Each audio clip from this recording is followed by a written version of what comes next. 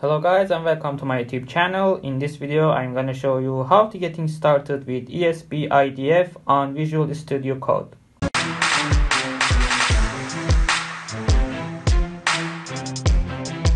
We are gonna install the Espressif IDF in Visual Studio Code. So just go to extensions from here, check for ESP IDF and install this extension. I've already installed it. The installation process may take long based on your internet connection speed and the computer. After installing the Espressif IDF, don't forget to install the CMake extension as well. Now let's create our first project as RGB LED Blink. Go to File, just add a folder. I created a folder called IDF Projects. Okay, now go to View. From Command Palette, go to Espressif IDF Show Example Projects. From here, just select Sample Project and create project using Example Simple Project.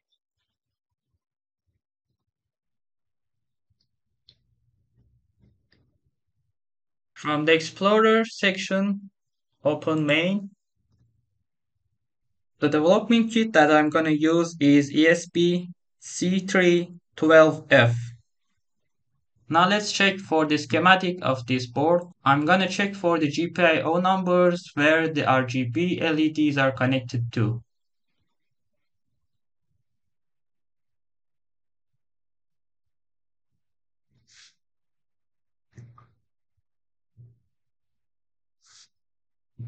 Here you can see that we have an RGB where the IO4 is green, IO3 is red, and IO5 is blue. So let's configure the GPIOs in ESP IDF.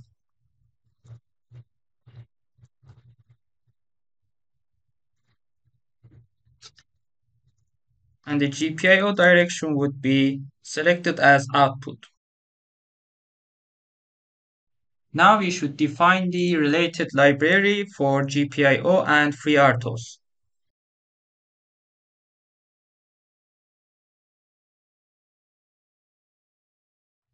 Now let's create a loop. We are going to set and reset the related pin for red LED. Now I'm gonna create a simple delay using vTaskDelay.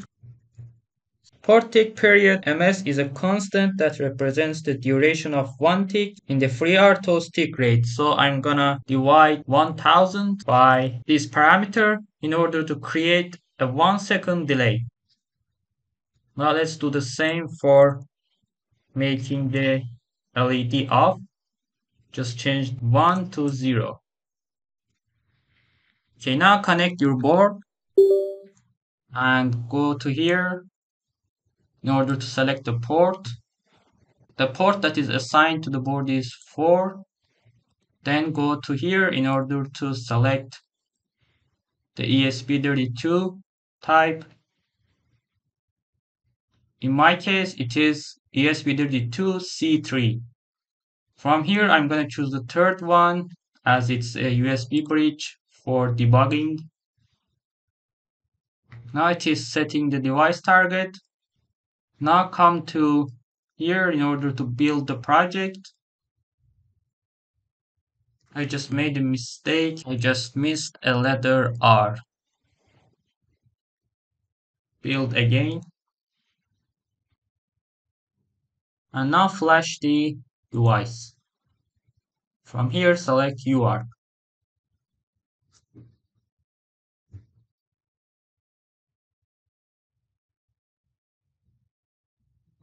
As you see the red LED is blinking now. Now let's do the same for other LEDs as well.